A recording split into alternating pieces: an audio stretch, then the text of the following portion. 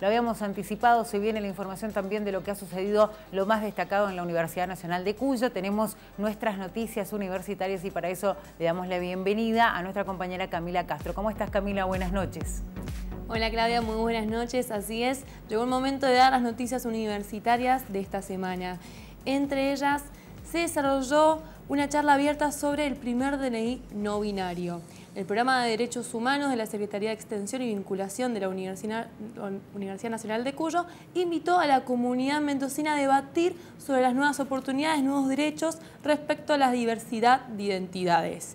Para eso participó Jerónimo Carolina González de Besa, el primer caso mundial en donde el Estado modificó su DNI en el, casillero correspondiente a sexo para que no indique ni F ni M. Además, participó la abogada Eleonora Lam, eh, subdirectora de Derechos Humanos del Poder Judicial de Mendoza, quien llevó adelante dicho trámite. Vamos a presentarles la entrevista que le realizamos a Jerónimo Carolina, quien profundizó sobre su experiencia.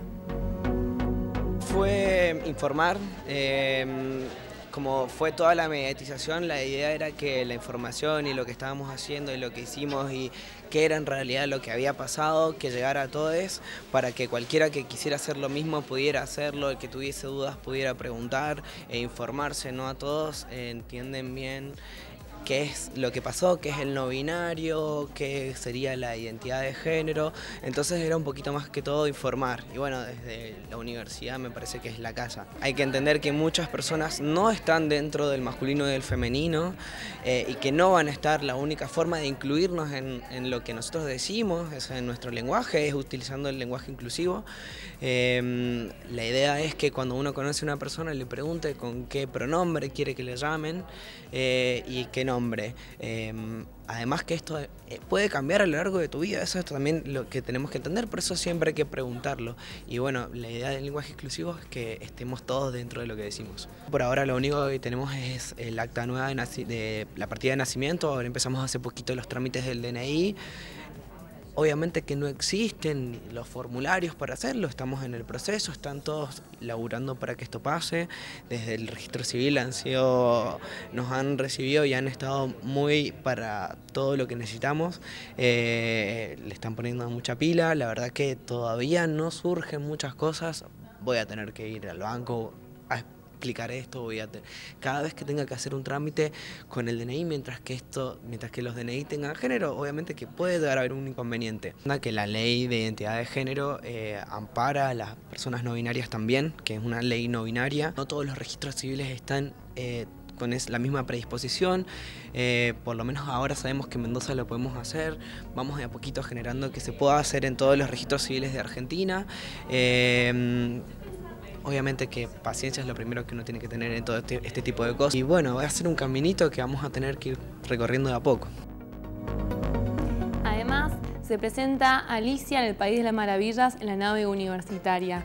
Este clásico de Luis Carroll será representado por el ballet de la UNCUYO. Esta obra infantil cuenta con más de 40 bailarines en escena y está bajo la dirección de Alejandro Cervera. Si bien durante esta semana del 20 a hoy, el 23, hubieron distintas funciones. Mañana, en el marco de la Feria de la Música, va a haber otra presentación para que ustedes puedan ir a, verla si gustan. Será a las 21.30 en la sala Chalo Tulián de la nave universitaria.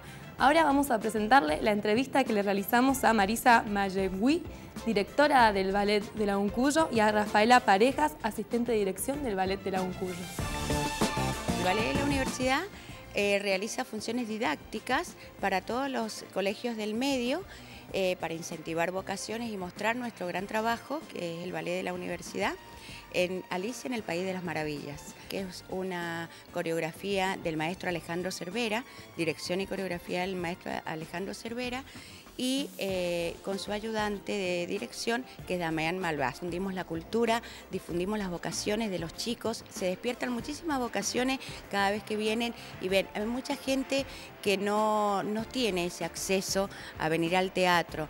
Nosotros le explicamos cómo son las partes del teatro y también eh, esta, esta obra especialmente es para niños. Esta propuesta es para mayores y es para niños, ¿entendés? Porque se ha tratado justamente de buscar eso, que el niño lo entienda y que el mayor también lo entienda y lo vaya transmitiendo a los niños que han venido a presenciar nuestro, nuestra función.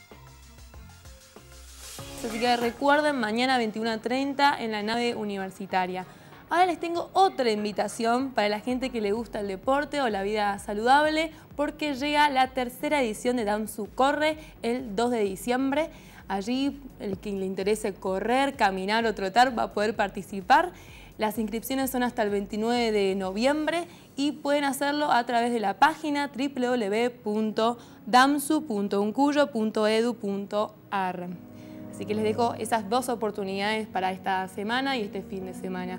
Estas fueron algunas de las noticias universitarias de esta semana. Recuerden que si quieren enterarse de otras, pueden ingresar a www.unidiversidad.com.ar.